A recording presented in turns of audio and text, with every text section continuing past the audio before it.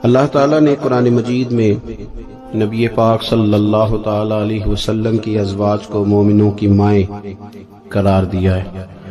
फरमाया, नबी वला बिलमिन मिन अनफुसहिम।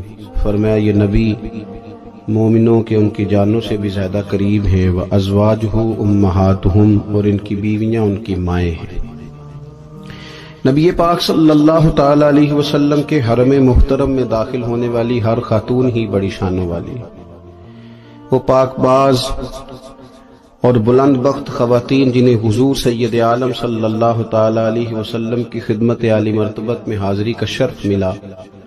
वो जो हुजूर की अजवाज मुताहरात हैं, अल्लाह ताला ने उन्हें बड़े ही दर्जात अता फरमाए।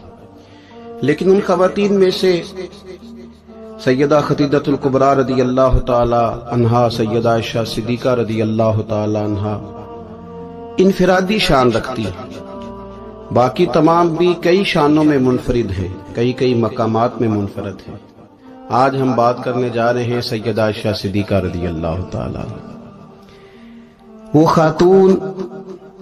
जिसको मेरे नबी पाक सल्लल्लाहु अलैहि वसल्लम ने फरमाया, आयशा, तुमसे निकाह करने से पहले हज़रत जबरील अमीन सलाम तीन दिन तक रेशमी कपड़े में तुम्हारी सूरत लपेट के लाके मुझे दिखाते रहे। और अर्ज़ करते, या रसूल अल्लाह सल्लल्लाहु अलैहि वसल्लम, ये आयशा दुनिया और आखिरत में आपकी बीवी है। नबी पाक सैयद आलम सल्लल्लाहु अलैहि वसल्लम ने उस पाक बाज खातून से फरमाया, आयशा, ये जिबरील खड़े और तुम्हें सलाम कह रहे हैं। हज़रत आयशा सिद्दीका रदी अल्लाह तहा को अल्लाह ताला ने बड़ी शान अता फरमाई।